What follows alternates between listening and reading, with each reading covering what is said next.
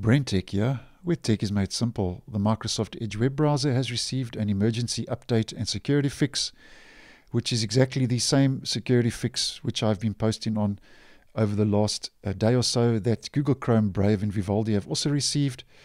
And this update to the Edge browser started rolling out on the 15th of April 2022. And as mentioned in my previous videos, uh, this update contains a emergency security fix for CVE 20221364, which has been reported by the Chromium team as having an exploit in the wild. And the exploit is currently active and is a zero day, which means it's very important to check that your browser is up to date. And it's a high risk vulnerability, which is your second highest ranked uh, vulnerability after critical.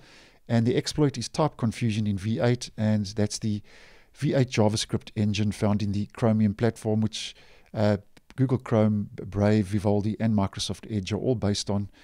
And um, it's a very common vulnerability and exploit, uh, which seems to be a problem um, these days in the Chromium based web browsers.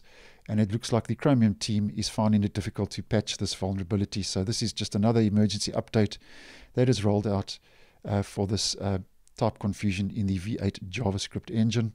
And these type of vulnerabilities may lead to the execution of arbitrary code. So as mentioned, it's a an important security fix uh, to the uh, browser. And uh, this will be an automatic update if you do use the browser on a regular basis. But as I always mention, when you are dealing with uh, zero-day exploits, it's always good to double check that your browser is up to date.